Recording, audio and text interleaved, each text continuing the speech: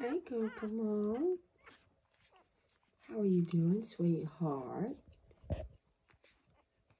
24 hours later,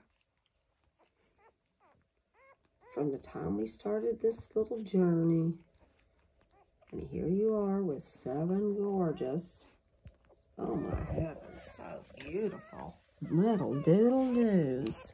Oh my word. And she's not sucking. I'll have to work on that little girl. That's the tiniest. This is not the biggest by any means, but oh, she's the one that we thought. I believe that's the one. I forget who's who. I, that's the one we thought was totally dead, and she just was so funny. She was like started wiggling in the ride. Where is she? This is this little baby love that you see her little white tail. We don't really know anything about her color right now, what she's going to be, but she may be a parti. We don't really know, but she's